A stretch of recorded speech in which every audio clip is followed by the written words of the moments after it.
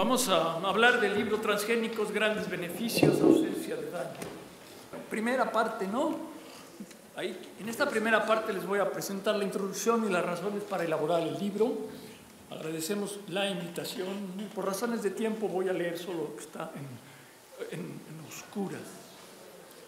Entonces, eh, son muchos los señalamientos en contra de los transgénicos, por supuesto, daños a la salud, al ambiente. Tampoco se señalan los beneficios, como lo han declarado algunos eh, grupos y con, con, visiones parciales, muchos por ignorancia y visiones limitadas. También en México, la Unión de Científicos Comprometidos.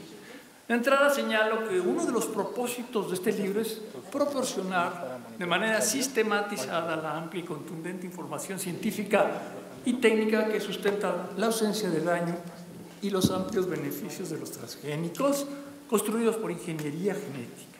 No hay evidencia científica relevante, insistimos, de daño reportado. Los señalamientos, por supuesto, de daños se presentan y se contestan más adelante en el capítulo 6.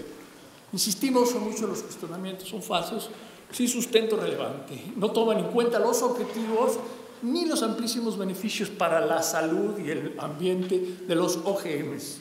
Tenemos más de 100 medicamentos, ahí les muestro algunos después, de origen transgénicos en las farmacias, incluyendo las de México, para atender problemáticas clínicas.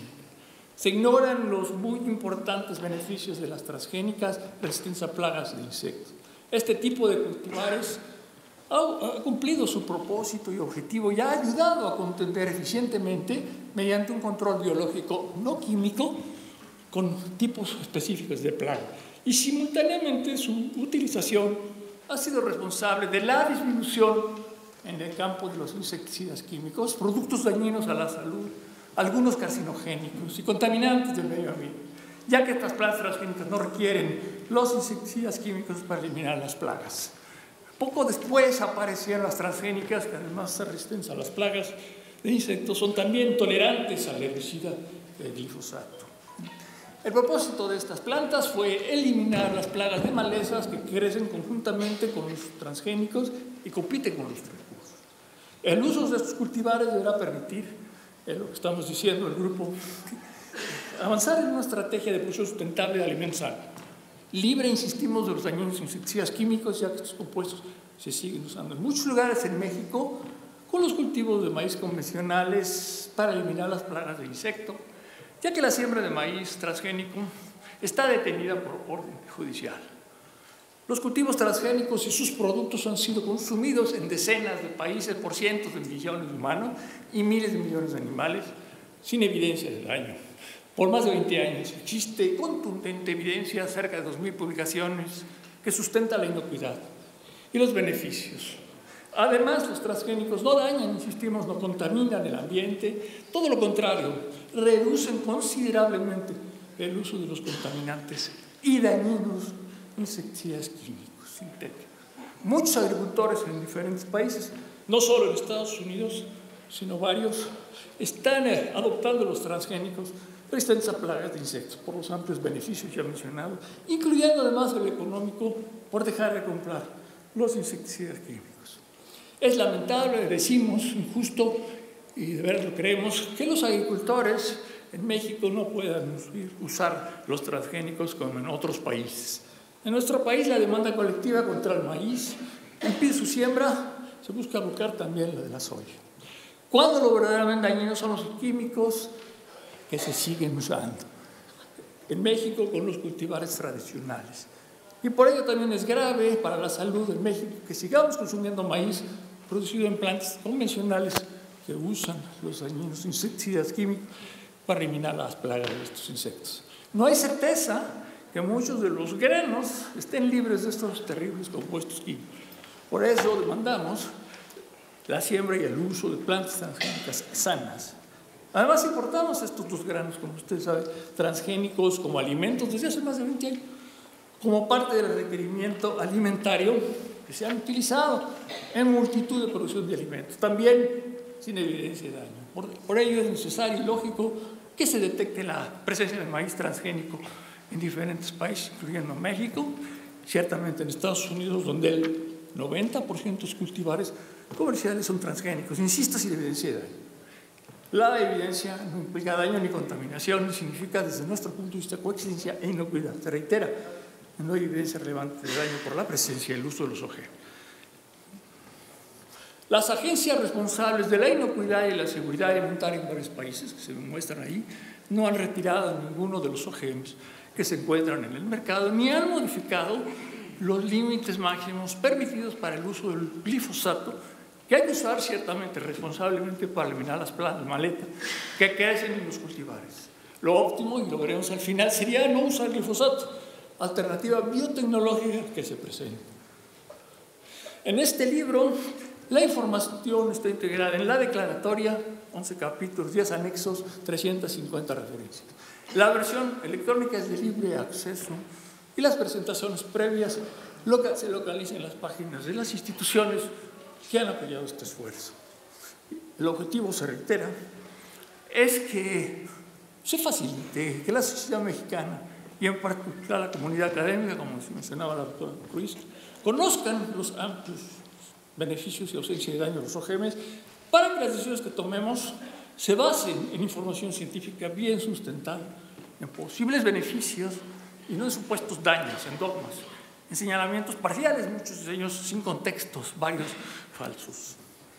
¿Quiénes hemos escrito el libro? El Comité de Biotecnología de la Academia, un grupo multidisciplinario, ahí estamos los autores.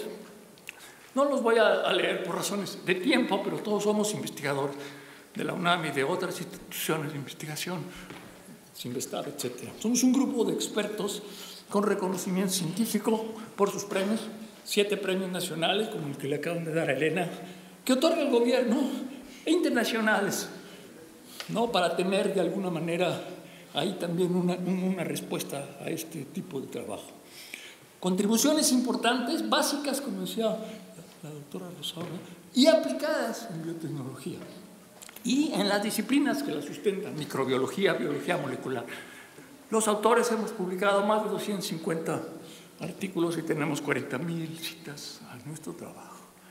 Entonces, eh, para pasar rápido esta parte, agradecemos de verdad a los miembros el esfuerzo y a la academia, al CONACYT y a la UNAM eh, por el apoyo en esto. También a la doctora Sol Ortiz y a Renata para la elaboración del libro. Pasando a la segunda parte, ¿qué es esto de la biotecnología moderna? ¿Por qué esta es una actividad sustentable? Eh, es una actividad multidisciplinaria. Uso responsable de la biodiversidad, eso es lo que decimos. Los componentes de la célula viva células y ACN y, organismos transgénicos y amplios beneficios. Entonces, ¿qué entendemos por biotecnología? Pues por un lado, el humano, como ustedes saben, ha utilizado otros seres vivos para satisfacer necesidades y se ha dañado el planeta. Muchos recursos se agotan, la productividad agropecuaria es insuficiente y el crecimiento de la población impone producir más alimentos sanos de manera sustentable en un, en un escenario con mayor contaminación y con efectos graves por el cambio climático. De ahí la relevancia, pensamos, del desarrollo de la biotecnología moderna que contribuye al estudio y caracterización de los vivos que integra la biota, conjuntamente con otras tecnologías. La biotecnología pretende el uso responsable de los vivos como parte de la respuesta integral y sustentable a las grandes problemáticas presentes y futuras. Es una actividad multidisciplinaria sustentada en conocimiento general en otras disciplinas, como la biología molecular, estamos hablando a nivel molecular, las ciencias ómicas, que permiten estas últimas analizar y medir los componentes de las células. Y en las técnicas de ingeniería genética la edición de genomas tipo CRISPR-Cas, de las cuales también hablaremos, que permiten editar y construir los organismos transgénicos para dar el valor agregado. ¿no?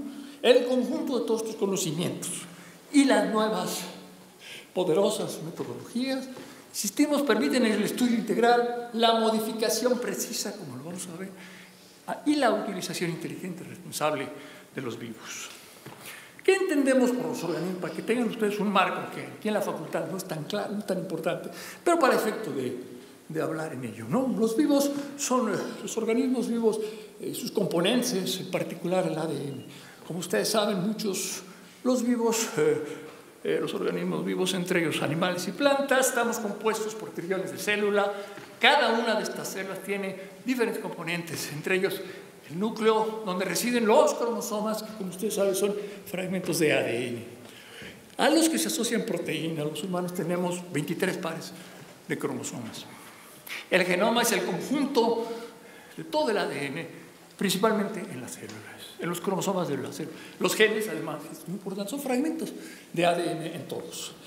Las células tienen membranas que les permiten contender con todo y, se y.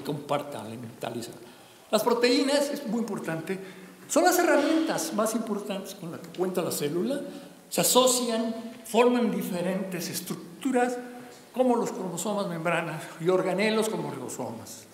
En estos organelos se sintetizan las proteínas, que son polímeros biológicos, todos ellos integrados por 20 diferentes aminoácidos. Además, las proteínas, como la insulina, puede tener otras funciones importantes en nuestro cuerpo. Entonces, como ustedes saben, el ADN es esta estructura maravillosa, extraordinaria que tenemos todos los seres vivos, de doble hélice, es la misma en todos nosotros. Permite su funcionamiento, incluyendo la replicación del ADN, responsable de transmitir la información genética. La secuencia de los nucleótidos es la secuencia que tiene cada uno de ellos, uno después del otro. Esto es general, esto es universal.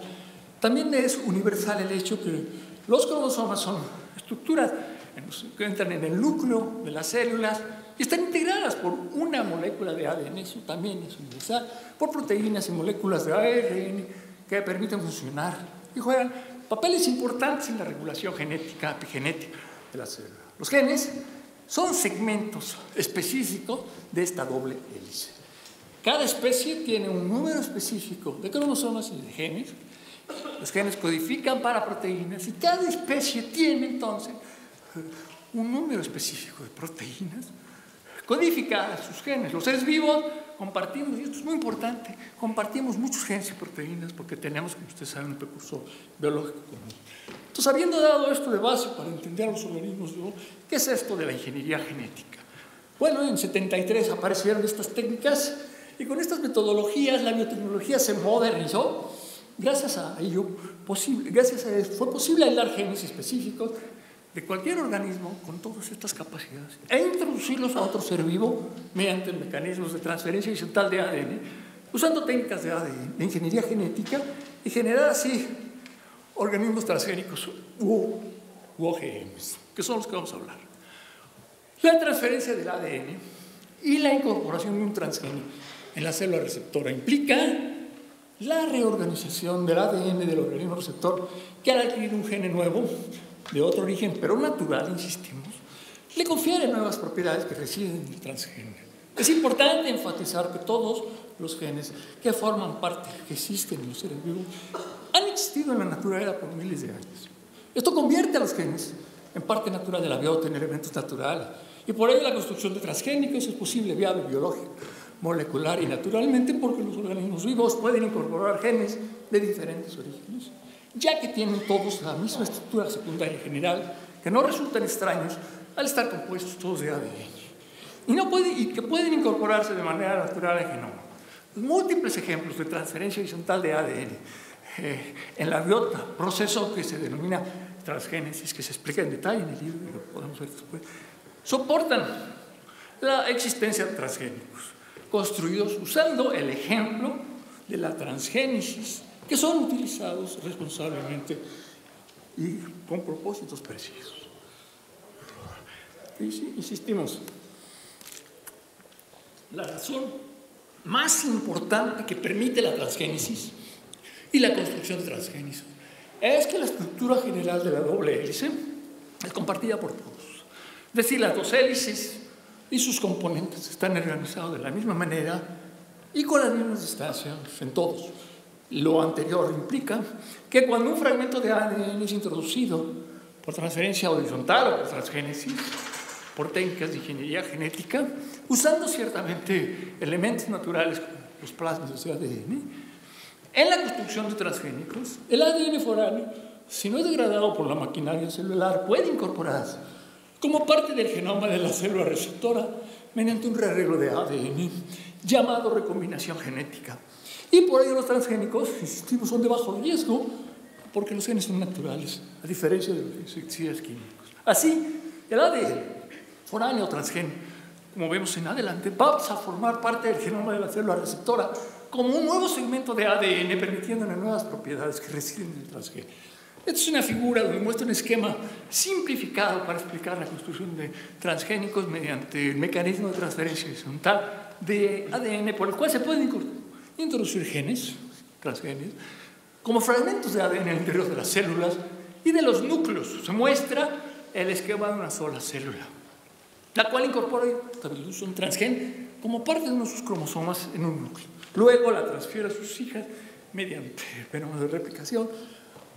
También, en particular, en el caso de las plantas transgénicas, el, mito, el fitomejoramiento mediante ingeniería genética es utilizado para transferir ADN, otra vez de heterólogo, usando un plásmido natural de la bacteria tumefaciens como vector a núcleos de células vegetales que luego se multiplican, como ven ahí en la gráfica, la figura, dando lugar a una planta transgénica.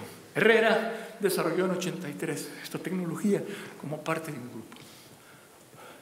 Voy a pasar ahora a presentar brevemente cuáles son algunos de los ejemplos que, a favor de los transgénicos documentos.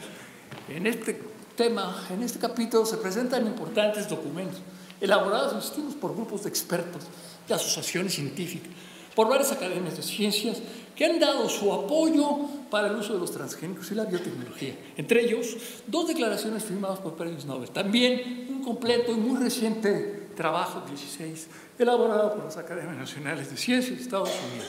Aquí está la declaración de los eh, premios Nobel, del grupo de premios Nobel a favor de la biotecnología y los transgénicos. Señala que las plantas transgénicas representan una tecnología perfeccionada, agricultura de precisión, que es superior a, los, a la actual, que los OGMs, perdón, son inocuos.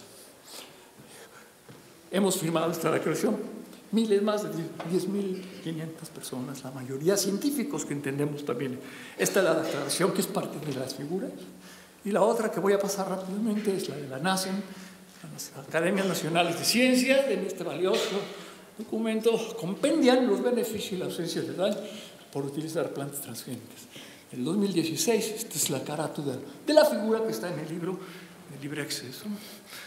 Y de ahí voy a pasar directamente a los propósitos y beneficios de los transgénicos en las siguientes tres transparencias. Eh, los transgénicos construidos por ingeniería genética, insistimos, se diseñan y construyen a fin de generar nuevas características en el receptor proveniente de otro organismo viva. Esta reside en el genético, material genético del transgénico y el propósito es atender presentes demandas futuras. De esta manera ha sido posible desarrollar mejores, más precisos y poderosos sistemas biológicos. Y han tenido ya logros muy importantes, aunque no se acepten. Con los, pues, con los conocimientos existentes sobre los organismos vivos, que indudablemente son complejos, y usando las técnicas de ingeniería genética, así podemos predecir, diseñar y construir responsablemente organismos vivos con nuevas propiedades importantes residentes en transgénicos que no hubieran podido, y esto es muy importante, construirse de otra manera. Acabo las últimas dos de beneficios, insistir en diferentes sectores, entre la salud, porque es importante que se dé el contexto de todos los medicamentos de origen transgénico para entender eh, eh, enfermedades clínicas y enfermedades infecciosas, más de 100 medicamentos. También en el sector alimentario y el ambiental, mediante el uso de las transgénicas, resistentes primero a las plagas de insectos tolerantes al herbicida, que son los cultivares a los que nos referimos. Vamos a concentrar analizamos y evaluamos en este trabajo, que han permitido, insistimos, avanzar la sustentable de alimentos y no se cultivan, procesan y comercializan, consumen. Los productos procesados los, existen en los supermercados y son consumidos, se han consumido por cientos de millones, miles de millones de animales en, en decenas de países, incluyendo México, eh, que importa maíz y soya como parte de la demanda por estos alimentos que se proponen, que se procesan y se consumen. Ya habíamos dicho en Estados Unidos, más del 90% del maíz, las soyas son libres de los transgénicos, son libres de los insecticidas, son transgénicos, que son, insistimos, los insecticidas químicos, los verdaderos causantes del daño en México a las plantas transgénicas. Por otro lado, la aprobación de todo alimento transgénico requiere de un protocolo de evaluación para demostrar su inocuidad, tanto como establecen las agencias sanitarias en diferentes países. Entonces, esto está perfectamente regulado, consumimos alimentos transgénicos que llevan dos genes, ADN, otra vez naturales, adicionales a los 20.000 que tienen las plantas de maíz. Es mejor consumir genes y proteínas naturales que los insecticidas químicos. Estos cultivares transgénicos realmente han propiciado eliminar en muchos países las plagas de insectos y el control de las malezas. Simultáneamente, se insiste, han permitido, decir, eh, pero no en México, el uso de los insecticidas químicos. Muchos carcinogénicos que lesionan la salud y contaminan. Siendo esta uno de los grandes beneficios que no se reconoce, y ya que las plantas transgénicas resisten a los insectos, no requieren, insistimos, los insecticidas químicos. Termino la parte de beneficios por todas las ventajas, incluyendo el económico también, por no comprar los químicos. Los agricultores muchos están adoptando los transgénicos sus productos. Las amplias evidencias que hemos aquí, están señalando todas en, cada uno de nuestros párrafos, sustentan la ausencia de daño por el consumo de estas plantas y sus productos. Se presentan en los capítulos 4 y 6. Es grave, irresponsable, pensamos, inmoral, seguir sembrando consumiendo maíz convencional tratado con los dañinos insecticidas químicos para eliminar las plagas. Ya que la siembra de maíz está bloqueado por supuestos daños, sin evidencia de daño, cuando este tipo de maíz se ha sembrado en mucho, tiempo en México. La última transparencia que tiene que ver con la parte de los beneficios es esto, ¿no? Señalábamos, ahí están los ejemplos procesados de, de alimentos transgénicos en el súper. Eh, las diferentes plantas transgénicas que se cultivan en muchos países y también un elemento muy importante, el camote, realmente es un organismo naturalmente transgénico, en el cual la bacteria agrobacterium se metió y le dio ventajas a esto. De aquí voy a pasar directamente ya a la parte de las, los señalamientos en contra y me voy a la hoja 66. Publicaciones en contra, en capítulo 6 se menciona, las hemos listado para irlas analizando una por una, eh, en contra de los transgénicos, por supuestos daños, respuestas y consideraciones que sustentan, se incluyen en la presentación para responder a lo mejor algunos señalamientos y respuestas más recientes de los detractores en cursivas, porque se publicaron después del libro. Somos reiterativos para continuar con la amplia, parcial y falsa eh, información sobre, contra de los transgénicos.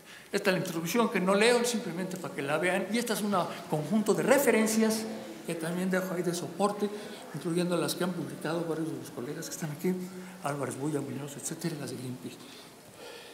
En este capítulo 6 se presentan los diferentes cuestionamientos por daños, por su OGM. Tenemos 44 hojas y después las respuestas. ¿no? Los daños para el consumo, incluyendo el uso responsable del eh, glifosato, los métodos para la construcción de los OGM, los daños esperados por eliminar las plantas transgénicas, la pertinencia de las variedades transgénicas resistentes a plagas, la siembra de cultivares, en particular el maíz, los cuestionamientos a la consistencia, la ausencia de, daño, de los beneficios y la propiedad de las semillas que tenemos. Entonces, voy a pasar directamente ya a la parte de las conclusiones, con la que termino. Esto lo estoy dejando a través de contexto y apoyo, por si se quiere recorrer. Paso a la página 115. Y voy sobre las conclusiones. Conclusiones y recomendaciones. Se concluye que las publicaciones y señalamientos en contra de los transgénicos, otra vez estamos hablando de la resistencia a las plagas y insectos y tolerancia al glifosato y sus, y sus productos por supuestos daños no tiene sustento científico relevante, en particular los de Álvaro Bulla, los artículos de Seralini, los cuestionamientos de diferentes grupos de organizaciones y activistas que aparecen en la prensa. Se insiste, y ahí están las referencias, estamos, ahorita vamos a hablar del de Seralini. Se insiste que no hay evidencia relevante del daño documentado a la salud, a la biodiversidad, al consumo de estos transgénicos. A diferencia, insistimos, de los dañinos químicos que sí los cautan y que no se utilizan ya las plantas transgénicas.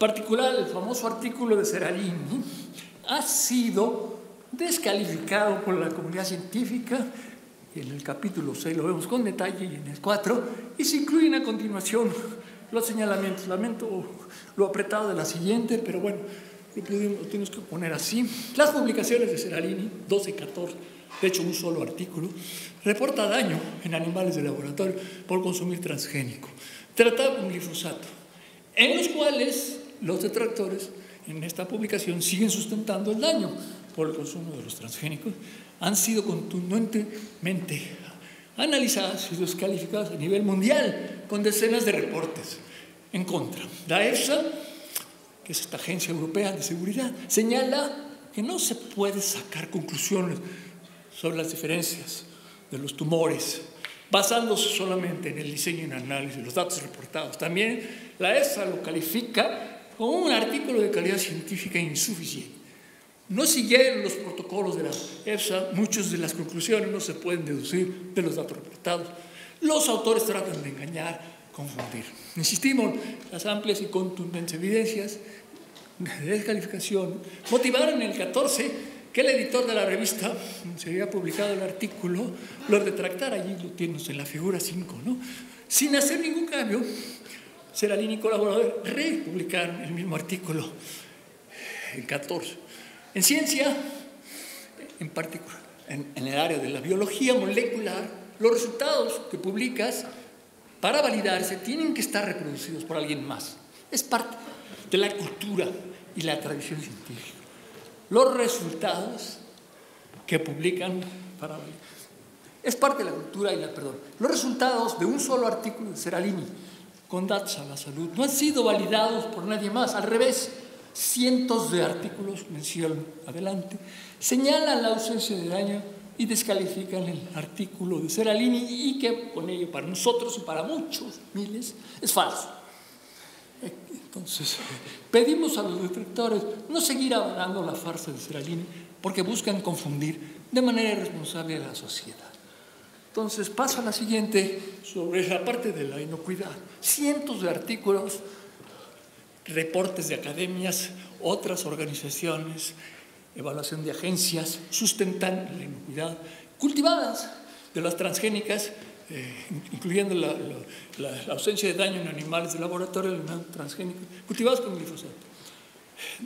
Durante periodos largos, conforme a los protocolos de la EFSA, obviamente, en los capítulos estos se presentan y detallan, el tiempo para que le entremos a, a ver esto, para sustentar con amplia evidencia científica la inocuidad y los beneficios de los OGM.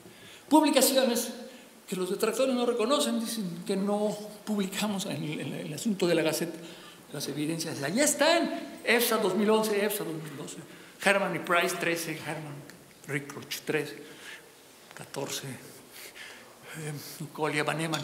Allí están las evidencias que sustentan, y todos son metaanálisis. Uno de ellos es el que sigue, los dos que vamos a ver, son metaanálisis de Rickroch, que revisa 44 artículos arbitrados que fueron revisados de manera independiente de los autores por la propia ESA, la cual publicó a su vez 60, 60 publicaciones, 60 opiniones adicionales avalando la ausencia del consumo de los transgénicos y sus productos.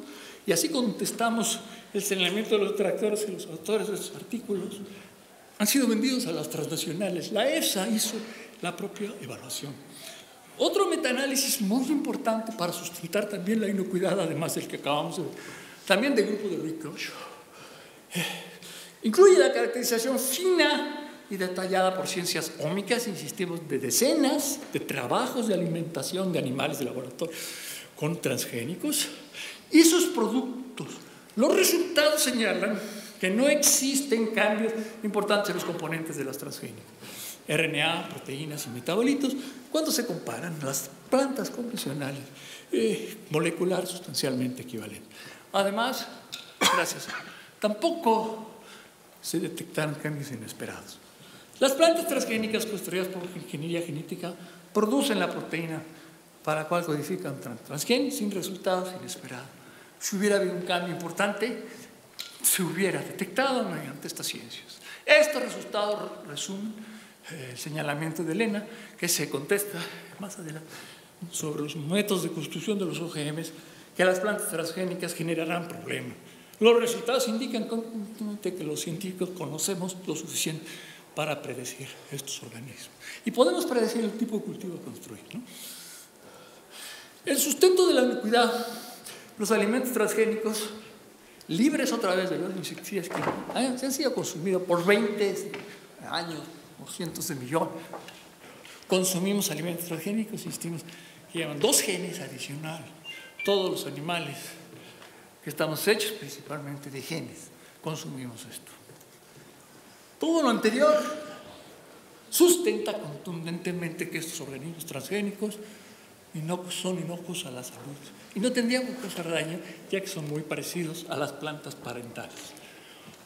También en soporte de la inocuidad, las agencias responsables de la seguridad alimentaria no han retirado ninguno de los productos transgénicos que actualmente se comercializan y aunque ha habido cuestionamientos, no ha habido cambios. Tampoco se han reforzado, y es importante por el artículo que acaba de publicar Elena, los límites máximos de la concentración del glifosato que se utilizan para eliminar las malezas. El uso del herbicida debe hacerse responsablemente, informada y conforme a los porque su abuso, indudablemente, ya lo vemos, puede causar daño a la salud y contaminar el ambiente. Es importante que tengan este elemento de contexto. En Estados Unidos, el glifosato es en un reporte muy reciente, se señala en el reporte este de NIS, que el glifosato es un herbicida de baja toxicidad, contribuyó con solo el punto 1, con solo el punto 1% del maíz, punto 3 de soya. En los casos de toxicidad encontrados en estos. Por otro lado, la EFSA, la europea, acaba de renovar el permiso del uso responsable del glifosato para, eliminar las malezas. Si no se usa el glifosato, se reduce la productividad y se pierden las cosechas. Los agricultores usan el glifosato desde hace más de 50, antes de los transgénicos, eh, que no es un producto transgénico ni pertenece a las transnacionales, para evitar descritar, eliminar a mano las malezas. Estados Unidos y Europa siguen usando responsablemente este herbicida porque es necesario. En México tenemos una gran oportunidad que vamos a comentar más adelante, biotecnológica para eliminar el glifosato. Por la presencia de este tipo de maíz en México, se han detectado muchos países que lo consumen y lo incorporan en productos. Se reitera la presencia del maíz transgénico no implica daño ni contaminación a nuestro juicio, lo hemos dicho mucho, significa necesidad coexistencia, como se ha detectado en muchos países, ya que las plantas, insistimos, son transgénicas, son muy parecidas a las parentales. ¿Dónde está la reiterada evidencia de daño, de contaminación?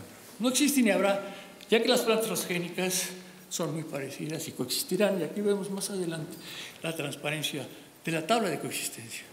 Y queremos insistir en el último párrafo.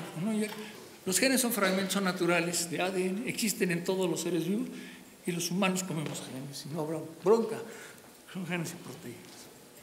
Aquí está una tabla de nuestro libro,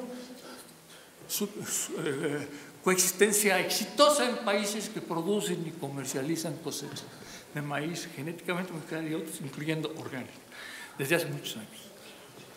Entonces, faltan tres. Eh, son muchos e importantes los beneficios de los transgénicos. Presentados previamente, se reitera, gracias al uso de estas plantas se han controlado las plagas de insectos y se ha reducido el uso de los insecticidas.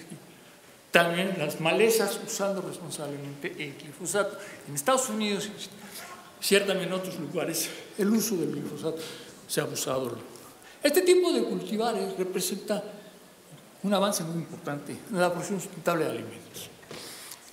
Muchos países están adoptando las transgénicas por los amplios beneficios, incluyendo los económicos.